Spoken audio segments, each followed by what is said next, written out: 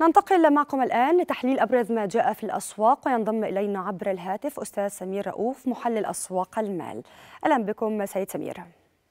أهلا بحضرتك باستاذ المشاهدين يا فندم. أهلا بحضرتك يا فندم. يعني أبدأ مع حضرتك بالمؤشر الرئيسي للبورصة المصرية الذي يواصل التراجعات الحادة. ما أسباب هذه التراجعات غير المبررة؟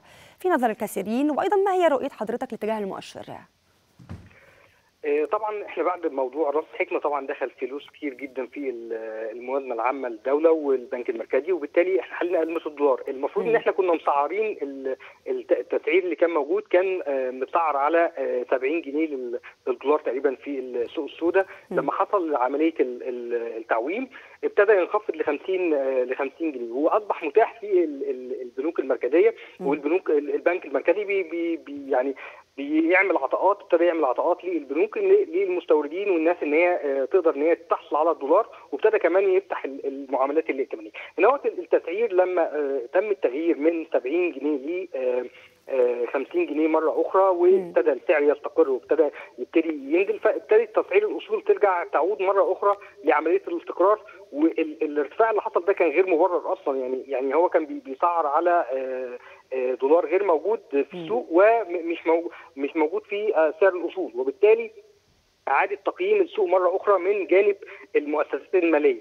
آه وب- وبالتالي هنا ابتدى المؤشر ينخفض بشكل آه آه حاد مرة مرة واحدة وابتدى آه إن إحنا نشوف إحنا بقالنا ثلاث أو أربع أيام خلاص هو خد الدخن بتاعه في, أول يومين إن السوق طلع ويعني ان في صفقة والدنيا هتتحل والم- والمشاكل ابتدت إنها تتحل اللي هي المنهجية بتاعة الدولار. وبالتالي مشاكل التسعير الأخرى ابتدت في الاقتصاد إنها آه، تسعر الأصول مرة أخرى. وبالتالي آه، ما بقاش في آه، يعني ما أصبحش إن في لزوم لعملية الصعود بشكل ال- الغير مبرر اللي كان حاصل في عملية المضاربات الشديدة جدا.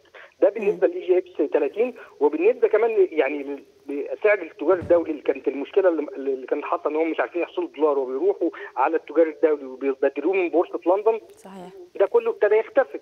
فابتدى ابتدى حتى التسعير يبقى موازي للسعر اللي هو الرسمي النهارده آه، في بورصة لندن التجاري بدولار 80 آه، آه، يعني ما يوازي 90 جنيه. هو النهارده ب 88 جنيه على شاشة البورصة المصرية.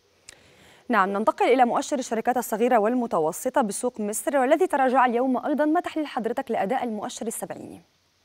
ال EGX ال 30 السبعين. النهارده هو ده السبعيني. ده ضاغط ع- هو ال EGX ال 30 ضاغط على الأسهم فالناس. ابتدت. تبيع نعم. تبيع في ال 70 كمان بنفس المنهجية وده وده غلط لأن لازم الناس تبص على أسهمها في ال 70 آه، أنا شايف إن ال 70 آه، الأسهم ابتدت إن هي آه، تجمع مرة أخرى هو حصل. ال panic مرة مرة على على ال 70 وتأثيره كان أضعف من ال 30 يعني ال 30 نازل حوالي آه، آه، 5% ونازل حوالي 1600 نقطة النهارده ال 70 آه، نازل حوالي تلت- آه، 200 آه، 230 240 نقطة.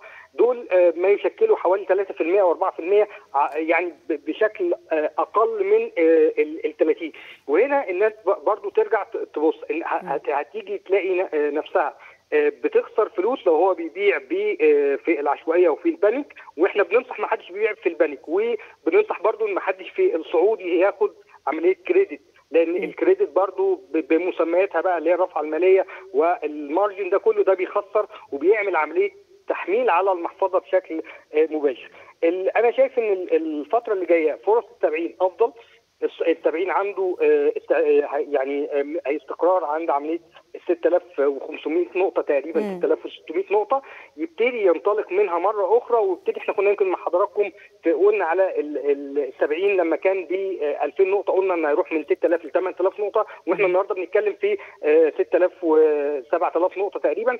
فإحنا إحنا لسه عندنا انطلاقة تكملة من 10000 ل 12000 نقطة كمان على مستوى ال- ال- المؤشر الصغير لأن هو واخد نفس المنهجية بتاعه ال 30 في سنة 2000 لما ابتدى المؤشر 30 في سنة 2000 فاحنا بنبص على نفس المؤشرات ده واخد نفس المنهجية ونفس عملية الصعود.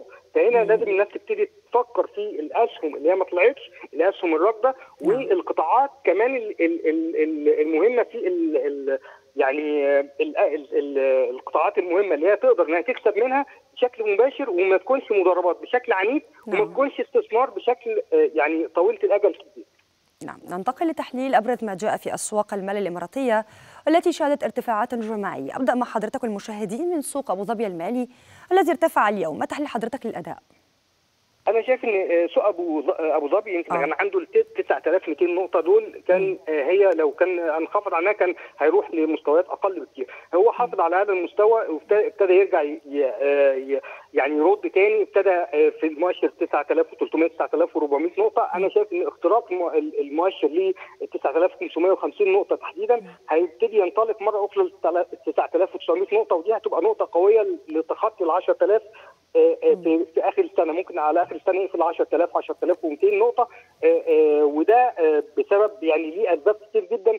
في عملية المنهجية يمكن حتى السوق السوقين مش سوق مش سوق دبي أبو ظبي بس سوق دبي كمان بيتكلم في نفس الأسباب. يعني هو عندهم نفس الأسباب المنهجية القطاع العقاري بشكل كبير. نعم. توزيع توزيعات الأرباح الطروحات الأولية ده بالنسبة للحاجات الداخلية أو أو السوق الجزء الداخلي. الجزء الخارجي إحنا تقييمات المؤسسات الدوليه أو نشاط السوق وعمليه التجزئه والنهاردة يعني موديز بتدي تصنيف إيجابي للمصارف وبعيد التصنيف للقطاع المصرفي بشكل كبير. نعم. ارتباطه بعملية النفط وارتفاعها وارتفاع النفط برضه بيأثر وبيدخل سيولة كبيرة. وقانون اللي اصدر أو بيتعمل حاليا اللي هو بتاع الأصول الرقمية. ده هيدخل برضه سيولة بشكل كبير في الحرية المالية في التعامل في الأصول الرقمية. نعم ننتقل لسوق دبي والذي ارتفع اليوم أيضا ما تحليل حضرتك الفني لأداء المؤشر؟ المؤشر يمكن هو عنده 4250 نقطة إحنا أعتقد إن هو لسه قدامه عملية صعود إحنا. أنا شايف إنه في عنده 4700 نقطة في قبل قبل شهر 6 اللي جاي وانطلاقه يوصلنا ل 5000 نقطة على آخر السنة إن شاء الله يعني. نعم وضحت النقطة. بشكر حضرتك أستاذ سمير رؤوف محلل أسواق المال لمشاركته معنا اليوم.